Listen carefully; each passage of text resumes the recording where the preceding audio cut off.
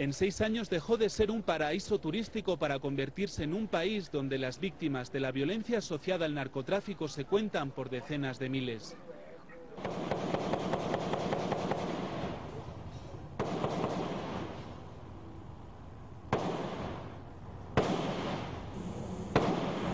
Desde el 2006, cuando Felipe Calderón inició la llamada guerra en contra del crimen organizado, el número de muertos y desaparecidos ha aumentado sin cesar. Y mientras el gobierno mexicano no ha publicado cifras desde enero de 2011, cuando hablaba de 47 mil víctimas, un alto funcionario de Estados Unidos reveló que serían más de 150 mil. Por eso, en esta guerra contra la delincuencia, contra los enemigos de México, no habrá tregua ni cuartel. Al llegar al poder tras unas cuestionadas elecciones, Felipe Calderón optó por la militarización. Más de 90.000 soldados, marinos y policías federales fueron asignados a tareas de seguridad interna y para muchos la estrategia fracasó. No solo porque se incrementó en un 50% la producción de marihuana y de amapola, se afianzó el negocio de drogas sintéticas y se disparó el consumo de narcóticos.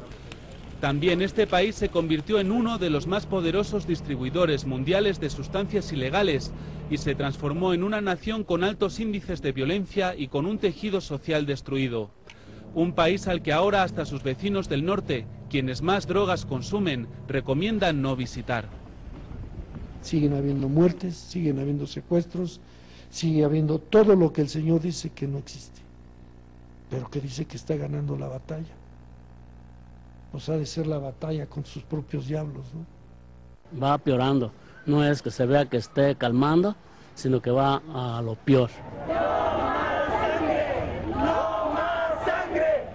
En media década los cárteles mexicanos se multiplicaron. Donde antes operaban siete grupos delictivos, ahora hay por lo menos 25. Se mantuvo el poderío del cártel de Sinaloa y se calcula que a estas alturas cerca de la mitad del territorio mexicano está controlado por los Zetas, un grupo iniciado por exmilitares y considerado el más violento. Todo cambió. La tranquilidad que antes se vivía en las provincias mexicanas fue desapareciendo poco a poco. Ahora, hasta en el más recóndito de los sitios emergen testimonios que dan cuenta de una época de incertidumbre y sobre todo de mucho dolor. Y en ese momento, mi hijo y yo estamos con las manos así, ¿verdad? Y en ese momento le disparan a mi hijo aquí en la cabeza. El 23 de noviembre del 2009, en San Luis Potosí, Sarayes y otros tres compañeros se fueron a trabajar y ya no volvieron y hasta la fecha no he sabido yo nada de ellos. No sabemos nada y pues más nos angustiamos, más se desespera. ¿Y qué tiene que hacer uno? ¿Tragarse todo esto? El 24 de enero del 2009 en Parras, Coahuila, eh, un grupo de civiles armados eh, bueno, desaparecieron a mi hermano y a mi sobrino. Historias como estas se volvieron frecuentes, tanto que las autoridades no se han atrevido a actualizar el número de muertos y desaparecidos.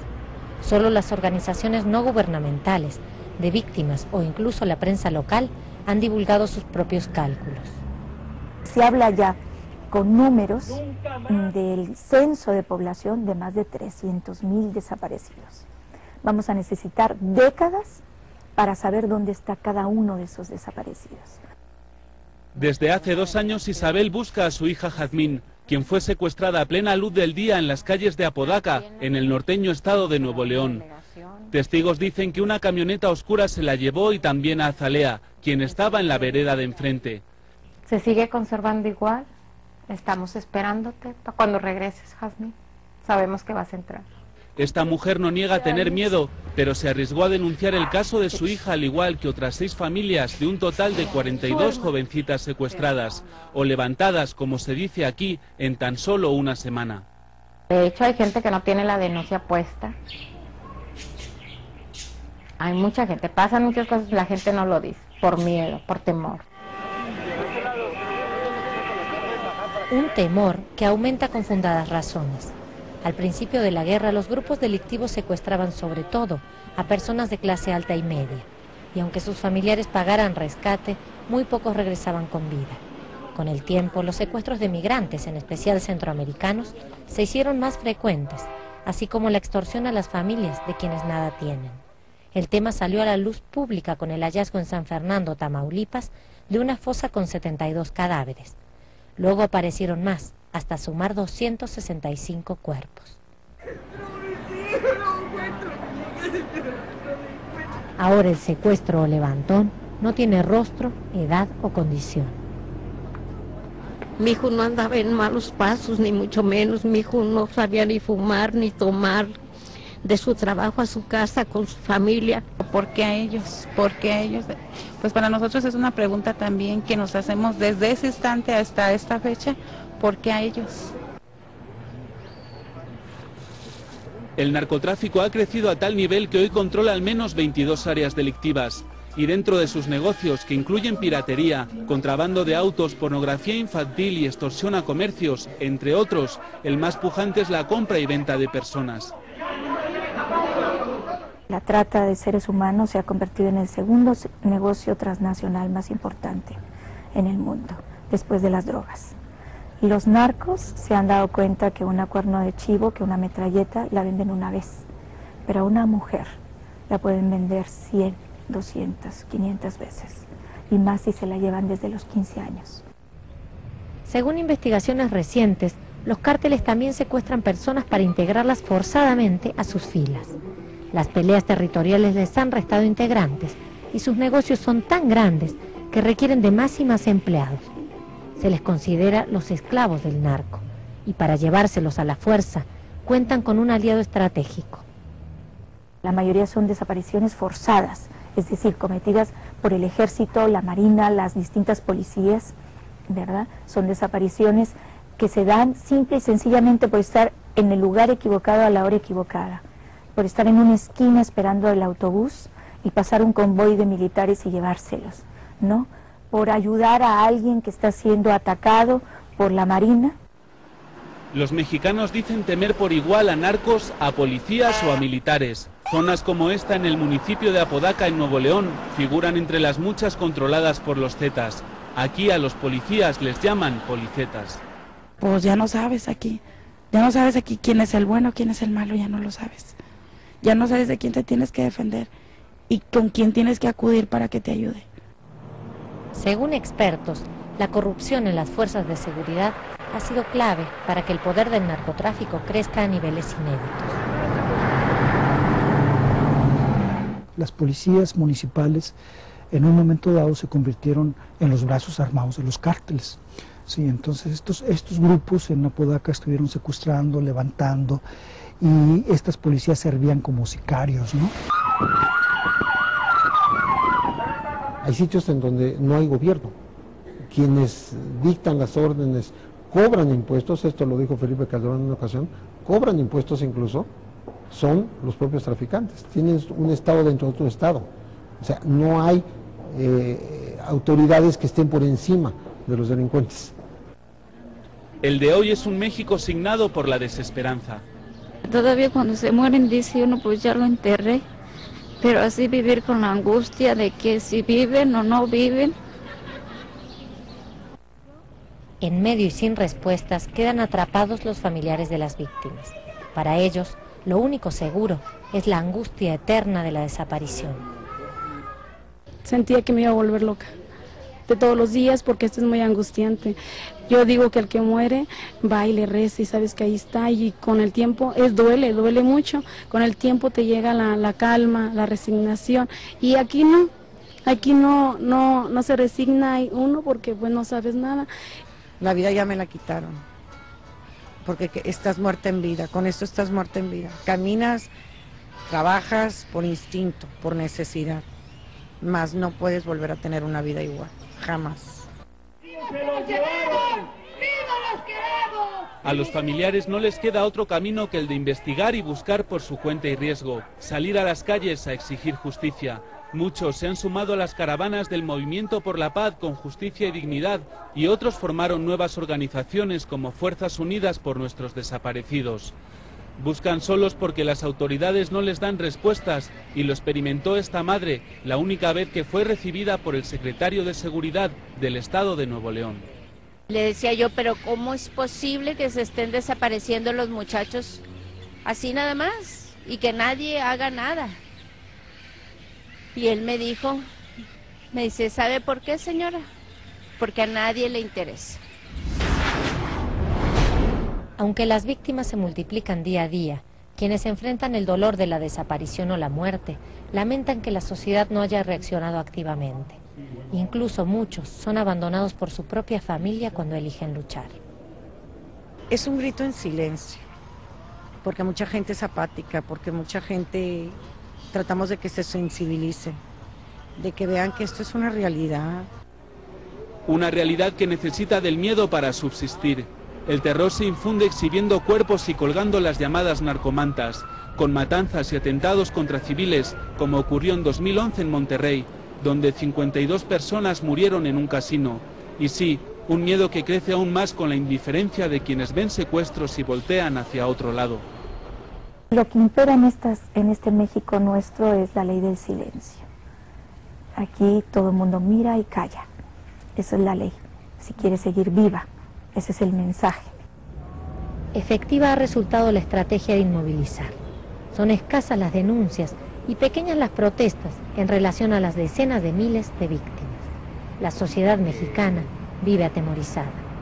¿Sabes que sales? Puedes decir al rato vengo, pero realmente no sabes si vas a regresar. Aquí no. Hay mucha gente que, que vive aquí y que se, las han, se los han llevado y todo. A mano armada, se los sacan de las casas y todo. Y no, ya no crean, ya no estamos uno, ya no está uno a gusto, ya no está uno con el miedo. ¿Y quiénes son los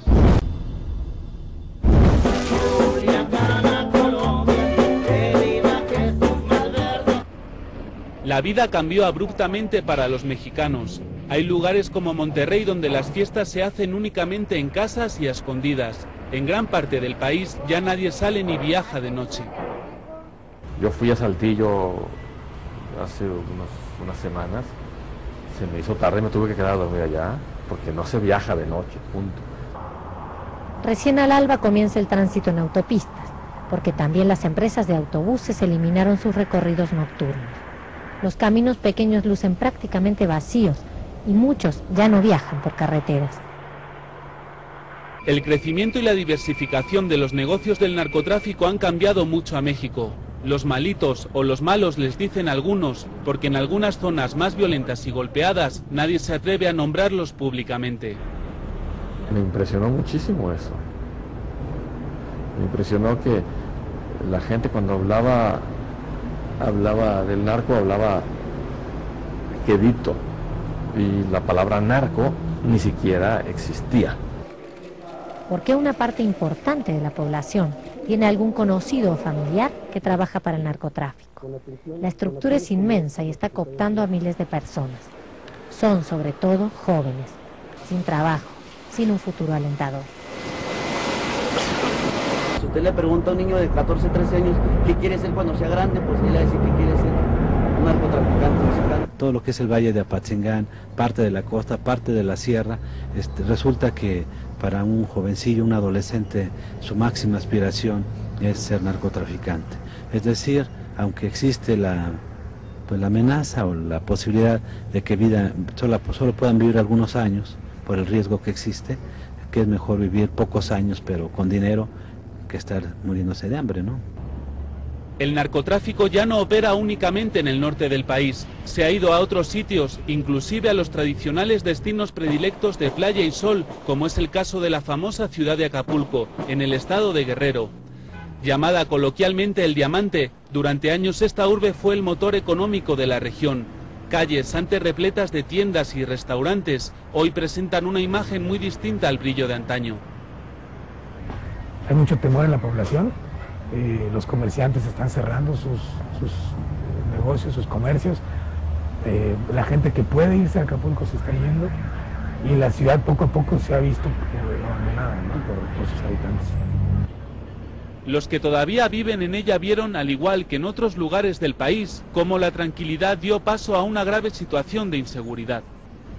La violencia se ha expresado en muertes, pero en muertes de una forma unas- con un simbolismo que siembra terror, miedo.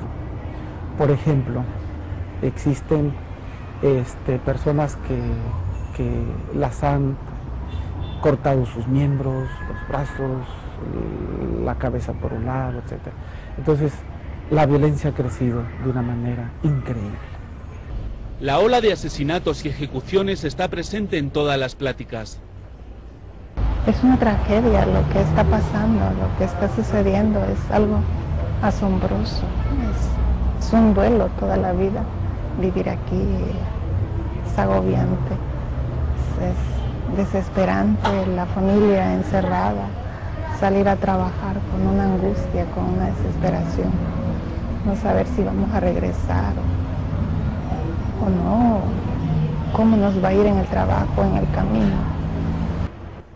Caminos vigilados por unas fuerzas de seguridad que no despiertan la confianza de muchos. Es el caso del activista político Bertoldo Martínez. Acusado de robo estuvo preso tres años. Ante la falta de pruebas fue liberado sin cargos. En ese tiempo, tal como corroboraron organizaciones de derechos humanos, fue sometido a torturas.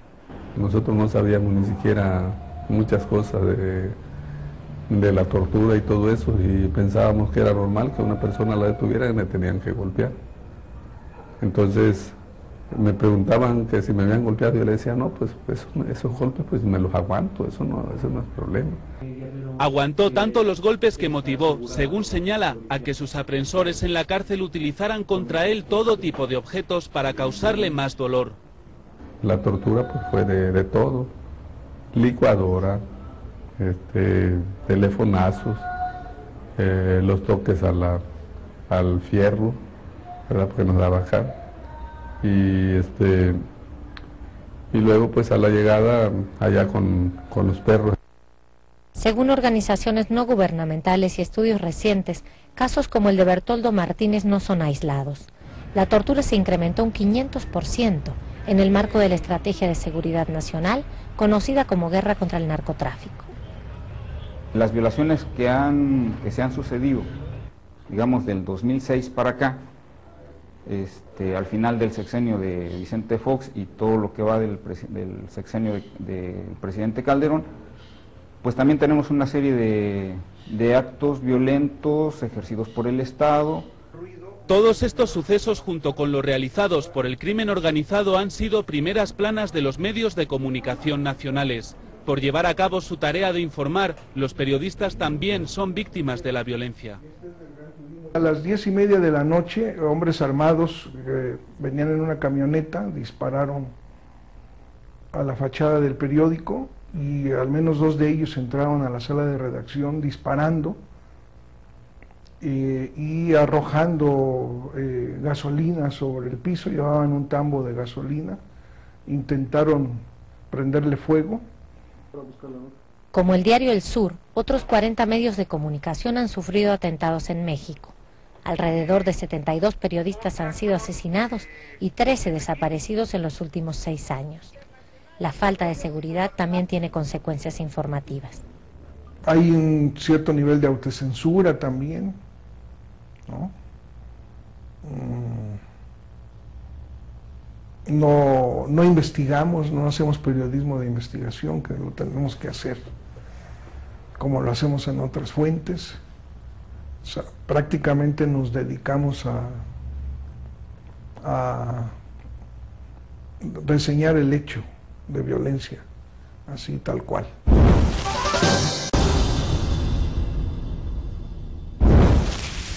Lejos de los focos y la atención mediática que atrae la violencia, otro fenómeno ha crecido en México durante este sexenio, la pobreza. Datos oficiales indican que 52 de los 112 millones de habitantes que hay en el país no tienen suficientes ingresos para hacer frente al costo de la vida. El sector más vulnerable es la población indígena. Organizaciones no gubernamentales y algunos partidos políticos hablan de más de 60 millones de pobres. Que hay una política deliberada en contra de la población indígena, es decir, hay una política, eh, políticas indigenistas que trataron de, generar ciertos eh, niveles de desarrollo, pero desde el punto de vista paternalista y clientelar. Siempre se vio a los pueblos indígenas como objetos de asistencia social. Nunca se les consideró como sujetos. En las montañas del estado de Guerrero se ubica Cochuapa el Grande, considerado entre los municipios más pobres. Los niveles de miseria aquí solo se comparan a los países más subdesarrollados de África. Su población sobrevive con lo poco que pueden cultivar, lo que hace que uno de cada cinco niños padezca desnutrición. Comemos lo que sembramos, maíz, que lo comemos cocido o ya molido en las tortillas, también frijol y algo de calabaza. Eso es lo único que se come aquí. Movidos por la necesidad, Antonio Vázquez y su familia sacrificaron la única res que tenían, no para alimentarse con su carne, sino para conseguir algo de dinero. Ganaremos unos 45 dólares. Con ese dinero tenemos que hacer frente a todos los gastos. Como somos muchos, no nos alcanza. Mis hijos tienen que salir como jornaleros a otros lugares a trabajar. Aquí no hay nada de trabajo. Pero no solo trabajo. En esta zona también faltan los elementos e infraestructura indispensables para una vida digna. A nosotros no nos llegan los servicios, no tenemos luz y el agua que nos llega lo hace a través de mangueras de plástico. Muchas veces se rompen y nos quedamos sin suministro. Entonces tenemos que bajar hasta el río. Tampoco hay centros de salud ni hospitales. Guerrero es el estado mexicano donde más mujeres mueren al dar a luz, con una tasa de mortalidad del doble de la registrada a nivel nacional. La única ayuda que pueden tener las futuras madres viene de las manos de las comadronas. Cuando la mujer va a dar a luz, comienzan los dolores en el vientre y la espalda. Yo acomodo el bebé en el vientre, lo coloco para que salga bien. Lo aprendemos de generación en generación. Tradiciones que suponen una herramienta para la supervivencia. Rosa Mendoza teje un huipil, vestido típico de los pueblos originarios, que usará una vez finalizado. Tardará unos cuatro meses. Utiliza colores alegres que contrastan con el olvido institucional que atraviesa esta región montañosa. Sobrevivimos con lo poco que tenemos. Esta casa humilde se hizo con mucho esfuerzo, juntando madera y lámina desechada. Aquí no vienen, para los políticos no existimos. También con madera y lámina las familias de la comunidad construyeron la única escuela para que los más jóvenes pudieran recibir educación. Lo hacen sin luz eléctrica ni suelo de cemento. No contamos con todo, este, digamos que en las mejores condiciones. no tenemos este un salón así seguro. Este, pues en tiempos, por ejemplo, en tiempos de fríos los niños eh, sufren lo que es el frío. En tiempo de lluvias, por ejemplo, estos salones entra mucho lo que es el agua. Ajá, y pues sí, sí, este, se siente un poco, tal vez quisiéramos que fuera algo mejor, pero pues es lo único que, que tenemos. Pues sus piecitos, sí. A todas estas adversidades se suman las existentes fuera del aula. Como usted ve, no, no hay muchos niños, ¿sí? Porque pues muchos se han enfermado con lo que es la gripa y todo eso. Se han enfermado y ya hay otros niños que ya son más grandecitos que les van a ayudar a sus familias en la milpa y pues así, este, pues sí, y pues por eso creo que no vienen. Algunos jamás regresarán. En México el 26% de la población es migrante y de ellos 9 de cada 10 migrantes internos. Buscan la oportunidad que en sus lugares no existe de una vida mejor. Se les conoce como los peregrinos del hambre. Solo tenemos un poco de tierra y este año por el tiempo hubo mala cosecha y no salió nada. No tenemos ni para comer, no podemos vivir en nuestra comunidad.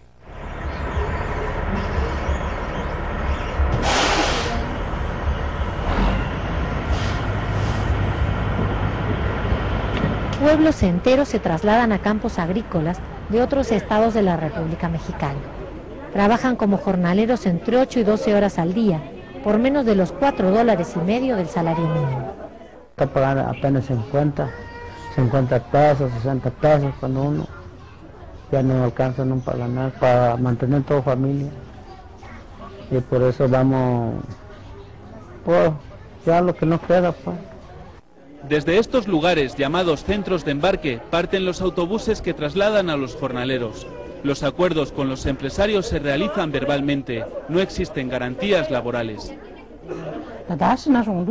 Antes partía a trabajar con un contrato. Los capataces te hacían creer que así era mejor, pero al llegar allá nada era como te habían prometido.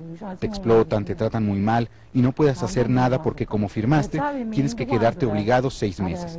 Ahora me voy por mi cuenta con mis ahorros. Tengo el riesgo de no encontrar nada, pero aún así lo prefiero a tener que pasar por lo mismo. Desde el momento en que los desplazan de su lugar de origen en esos camiones hacinados, con condiciones que ponen en riesgo su vida, eh, con las condiciones que ellos arreglan para llevarse a las mujeres sin ningún tipo de supervisión y más sobre todo como las que vemos ahorita en la UCI, mujeres embarazadas que no cuentan con ningún tipo de chequeo médico o niños que van enfermos o que necesitan otro tipo de atención especial, todo eso vulnera completamente sus, sus condiciones, no derechos que son básicos para ellos. Tal situación de indefensión sitúa a este sector social en riesgo frente a la grave situación de inseguridad que atraviesa el país. Así ocurrió con la familia Salomón Manzano. Ya tiene como unos 15 años que salieron de aquí del estado de Guerrero para el estado de Tamaulipas y pues ya estando radicando allá eh, simplemente desaparecieron, salieron a la calle a trabajar, la mamá y la hija y pues, hasta ahorita ya son dos años que nadie sabe dónde quedaron, dónde están, quién se los llevó, no se sabe nada. Un silencio similar por falta de respuestas viven miles de familias de desaparecidos por toda la República Mexicana. Aquí la incertidumbre aumenta. México está lleno de fosas y solamente un 1% o un 0,1% se descubre. ¿Qué, pasa con los otros desaparecidos? Eh, ¿Están bajo tierra? ¿Están en algún lugar? Los mexicanos se preguntan también si el nuevo gobierno mantendrá la cuestionada estrategia de seguridad, cuyo impulsor mostró otra faceta en los últimos días de su mandato. En eso se oyó un aullido, cuentan de un perro del mal, era el negro embravecido que dio muerte a don Julián.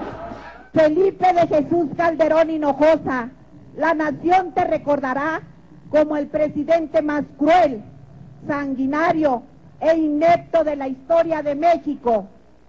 Nuestros hijos, hijas, madres, padres y hermanos no son daños colaterales de tu guerra, son víctimas inocentes de tu ambición, de tu miopía política. No solo lo juzgará la historia, nosotros, este, digamos, los pueblos de México ya están llevando a cabo un juicio este, a través de instancias como el Tribunal Permanente de los Pueblos. Y el promotor de la llamada guerra contra el narcotráfico podría llegar hasta el banquillo de la Corte Penal Internacional, porque ha sido demandado allí por presuntos delitos de lesa humanidad.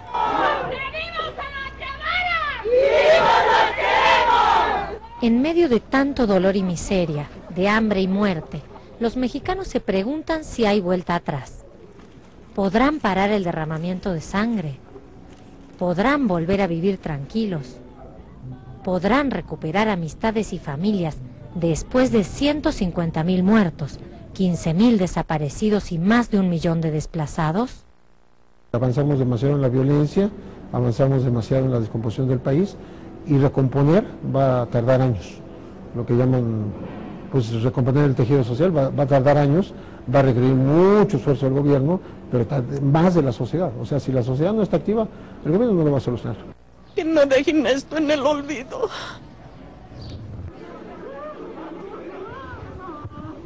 Tampoco quedarán en el olvido el incendio en la guardería ABC que costó la vida a 49 niños, la extinción de la compañía Luz y Fuerza del Centro que dejó en la calle a 44.000 personas y la reforma laboral que es considerada un retroceso en los derechos de los trabajadores. Mucho menos podrán seguir olvidados los 60 millones de mexicanos que viven en la pobreza en este país donde vive el hombre más rico del mundo. El que recibirá el próximo gobierno será un México de desigualdades, corrupción, impunidad y violencia.